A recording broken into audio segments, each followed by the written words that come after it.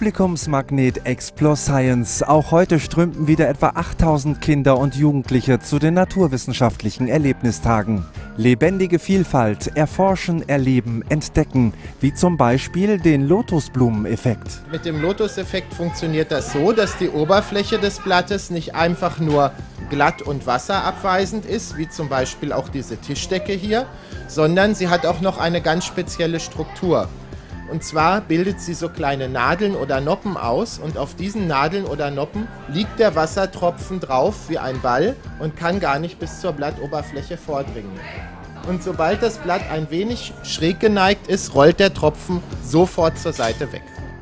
Einfach und verständlich erklären, dafür ist auch TV-Moderator Prof. Dr. Harald Lesch bekannt. Nur einer von vielen interessanten Gästen auf der Explore Science. Mit dem Astrophysiker lässt es sich so wunderbar philosophieren über die Weiten des Universums. Wenn Sie ein Astronaut wären, wo würden Sie dann hinfliegen? Ich würde mich wahrscheinlich nicht aus dem Sonnensystem raustrauen, weil ich ja wieder heim will.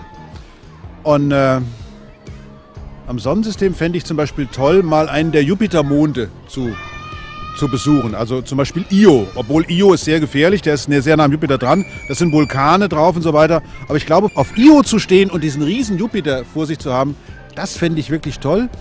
Oder vielleicht nach Europa, weil, also jetzt, da gibt es ja einen Mond, einen Jupitermond.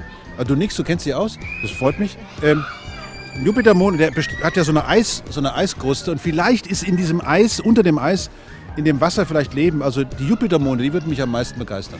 Warum so weit schweifen, wenn das Spannende doch so nah? Die Natur mit allen Sinnen entdecken und mal mit ganz anderen Augen sehen.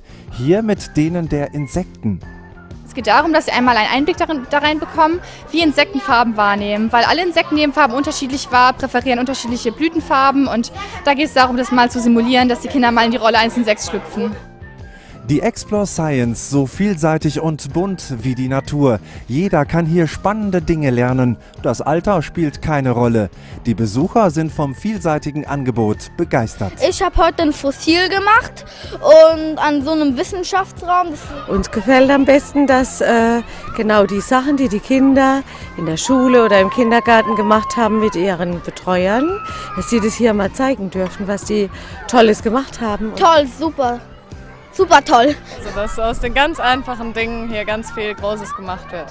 Einfach hier hingehen, dann wirst du schon sehen, was, hier, was es hier alles Tolles gibt.